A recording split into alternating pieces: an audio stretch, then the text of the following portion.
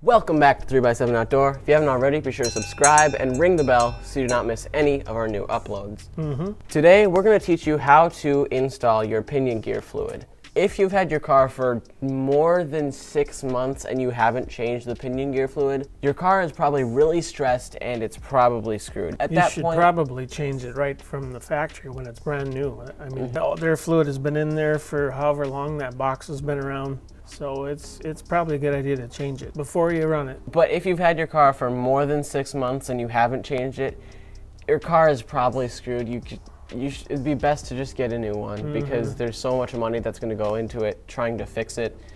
It's just better to get a new car. It's very uh, uh, not very well known thing about the pinion fluid. And it's really weird because it's very mandatory. Every RC requires it. If you have a spur gear and a pinion gear, you need pinion fluid. All right, so if your car sounds like this, see that sounds really bad, and that means it needs pinion gear fluid. Mm-hmm. This car I heard a squeak. Do you hear that? Sometimes after every half battery, you have to add it. we didn't change this one yesterday, or we changed the pinion gear fluid yesterday on this one, and we haven't done it yet today, so mm-hmm. I guess we'll need to do that. So what pinion gear fluid does it, is it lubricates the pinion, and it makes it so that the spur gear doesn't blow its teeth and everything. We forgot to do it on the Hoss yesterday. You got to keep that pinion fluid topped up. These it. cars are expensive. It, pinion fluid is cheap. So this is $6.99 on the Traxxas website, so it is really easy to get. All right, so we've just loosened all the screws right here, and you're just gonna need to pop this part right off. Just like mm-hmm. that. And look at what happens when you don't keep up on the pinion fluid. You see how the teeth on that gear are just absolutely messed up They're gone. right there? It's because we didn't have pinion fluid in there. If we'd have kept that pinion fluid full, we wouldn't need part 8357 right now. But we need it, so we're gonna install that. So to get to where we put the pinion gear fluid and to take the spur gear off, we're gonna need to take off the back oh, half I of the car. I was just going to throw a wrench to it. All right, so we took out this screw, that screw, and that screw.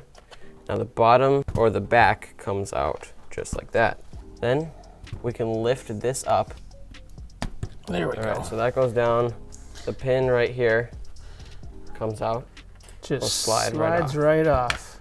Once again, you can see that that is messed up. Shiny, shiny, shiny, And we have a brand new one, so look at that. shiny. So you push that back Pop that pin in there. and then get it all lined up. Line and then just pull it. Put her back onto here. Just put her back. There we go, the bearing is on. So this part, it just kind of sits right there. It doesn't, There, There we go. you got her. all right, so what I did to keep, get that spur, spur pinion in is just, so what I did to keep, get that spur, spur pinion in, spur pinion in, spur opinion. just take it like this and then press Click. down.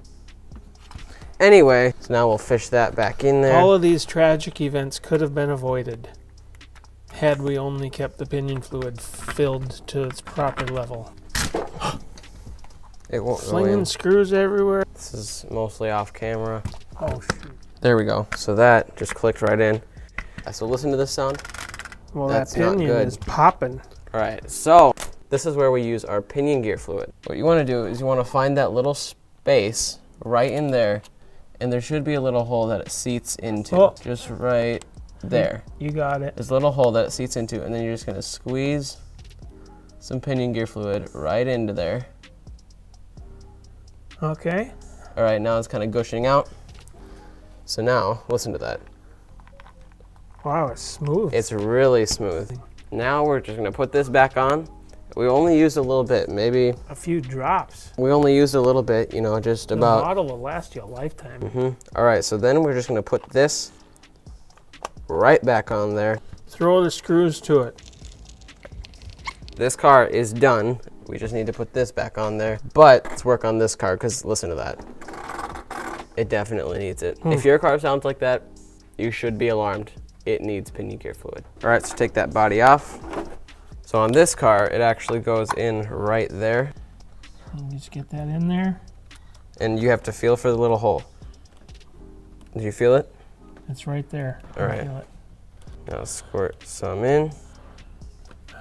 There we go. You got to make sure you push this back down. There we go. Okay, that lifts up automatically and then closes. Let's see. So, oh, it's not enough yet. Okay, now less. all right, let's listen. So we all you have to do is kind of turn the tire. Oh, that's a lot better. Yeah, it's just a little bit. I mean, this yeah. car is really fast. Mhm. It's it's geared up pretty big. Yeah, so it's gonna have have have that. But hmm I think we fixed it up. You know. Might take a few rotations with a battery. Yeah, in listen It. to that. It's a little bit quieter rather than it being like. it actually is more mandatory on the brushless cars rather than the brushed cars because they're slower. But the brushless cars They're slower, therefore they run out of the fluid less less slowly. less quick. Yeah, so faster ones need the fluid more. So we got to finish buttoning up the Mustang, and then we could try it, show them out on the carpet track quick, how well that worked. You just about done with that? All right, one more screw after this. Battery in, we'll swing around over to the racetrack. All right, here we go. Sounds pretty smooth. Does it drift? You know, I've got the street tires on it, so for it to really drift, we gotta put the drift tires on it.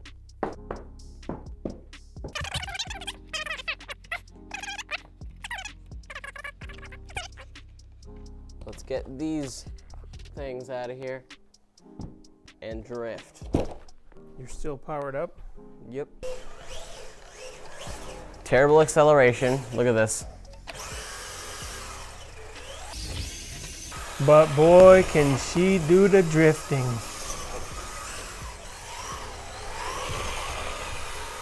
We need an obstacle to drift around. Where's the cones? There's the cone.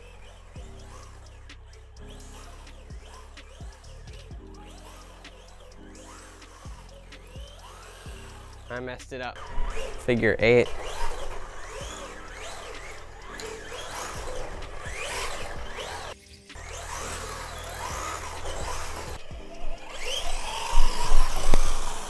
And he's stuck.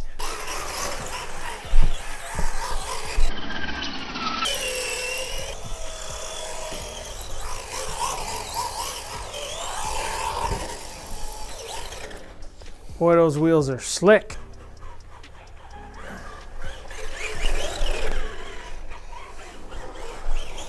Pretty wide one. Mm-hmm. Eh, not making it. Ah, so close. I don't have the sauce, but I do have pinion fluid.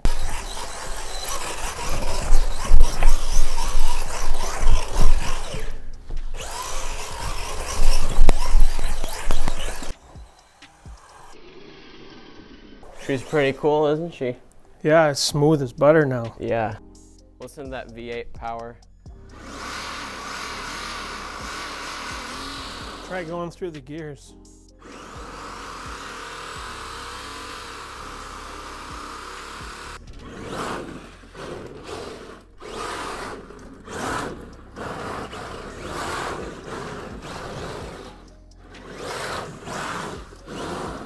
So there you have it, folks. How to change your pinion gear fluid in your cars. If you haven't done this once again in six or months or over, get a new car. It's just it's worth it to get a new car rather than spending all the money on fixing everything Make sure it's topped up after every half battery. or just every full run. You know, I think you can get a full run out of it Hmm. some, sometimes. If it's a faster car, then you know half battery is probably better. faster. There you go. That's how you install your pinion gear fluid. If you have any questions, comment down below and we will answer them. Yeah, once again, ring the bell. Do comments, ring bells, thumb the videos up, Yeah, you know the drill. You've watched 800 send it to other... people far and wide. Anyway, guys, we hope you liked that video and we will see you in the next video.